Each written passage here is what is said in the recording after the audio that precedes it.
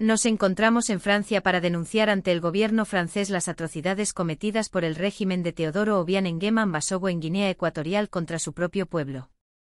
Desde hace 46 años, este dictador ha mantenido al país bajo un régimen de opresión y corrupción, caracterizado por torturas, violaciones de los derechos humanos, secuestros, encarcelamientos arbitrarios y un abuso flagrante del poder. El régimen ha violado sistemáticamente la Constitución, dejando al país en la bancarrota mientras se enriquecen unos pocos. Nos preguntamos, ¿dónde está el dinero del petróleo? ¿Cómo es posible que con tantos recursos Guinea Ecuatorial se encuentre en esta situación tan precaria?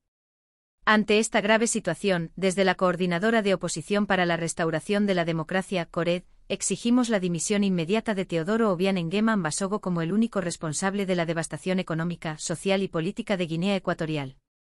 Es hora de poner fin a este régimen y de restablecer la justicia, la democracia y el respeto por los derechos humanos en nuestro país.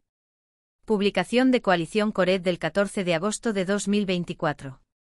Reproducida por Abaa TV.